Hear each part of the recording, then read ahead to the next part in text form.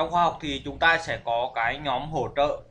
Thì tất cả các kiến thức ở trong cái nhóm này các bạn có thể tìm bất cứ đâu, nhưng mà quan trọng đó là sự hỗ trợ từ tôi. Thì để mà tham gia nhóm hỗ trợ trong khóa học thì các bạn làm như sau. Đầu tiên là các bạn cần phải đăng nhập vào cái tài khoản của mình tại Unica.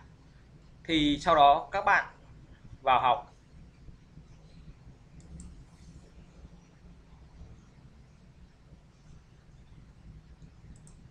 xin lỗi, các bạn các bạn ấn vào học tiếp luôn.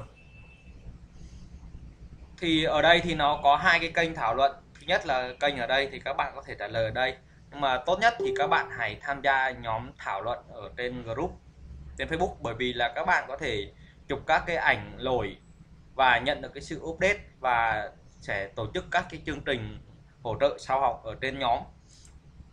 Thì cái nhược điểm của khóa học video á, đó là các bạn không có cái sự tương tác ở với cái cái học cái cái người dạy ở trên đó. Thì cái nhóm này được sinh ra để hỗ trợ giúp các bạn. Thứ nhất là giúp các bạn hiểu rõ hơn những cái bài học.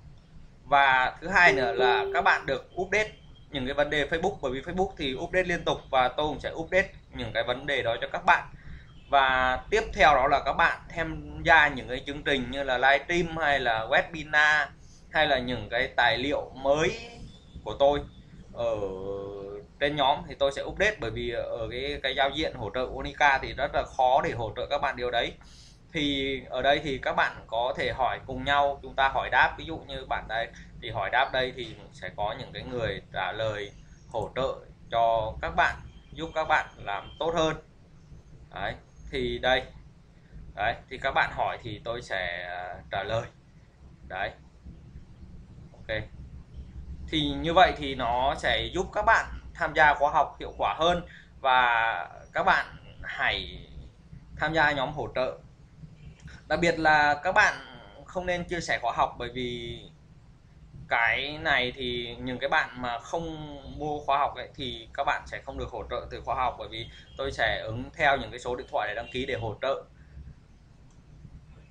Trong này thì ờ, nó, tôi sẽ update những cái thú vị liên quan đến Facebook, update update dần cho các bạn. Ví dụ như các bạn sẽ nhận được giáo trình học này, hướng dẫn biên tập video hay là biên tập video nhạc nền, công cụ quét, bộ công cụ thì đang update và những vấn đề Facebook update nữa thì nó sẽ được update nữa. Chúc các bạn thành công.